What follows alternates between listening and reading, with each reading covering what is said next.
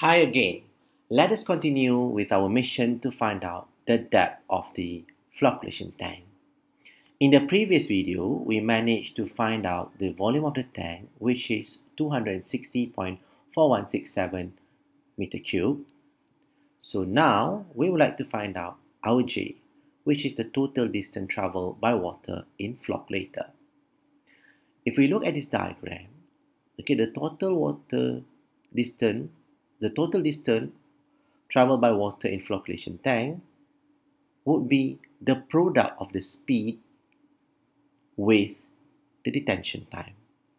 Or in other words, to find out the distance for water to travel in the flocculation tank is equal to speed times detention time.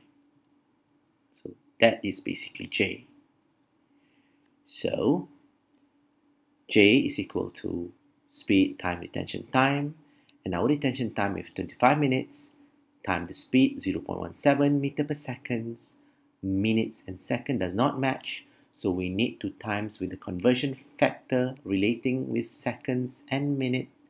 So we do that and we cancel the unit. Okay minute is cancelled with minute second over here is cancelled with second over here so the total distance traveled by the water or J will be obtained in meter units. So if you times 25 to 0.17 and with 60, you will get the answer of the total distance traveled by water to be 255 meters.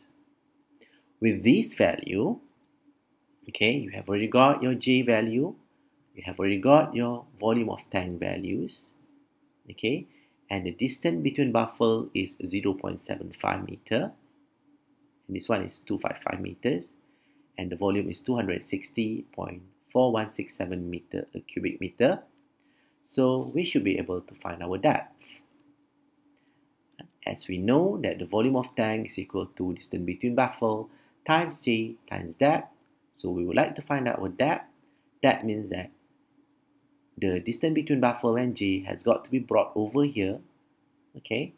And uh, the depth is equal to volume divided by distance between baffle times J and the volume is 260.4167 meter cube divided by the distance between baffle which is 0.75 meters times J which is 250 meters. And if we do this simple calculation again we will be able to find out the depth to be 1.36 meters. So thank you and Assalamualaikum from Muzaffar.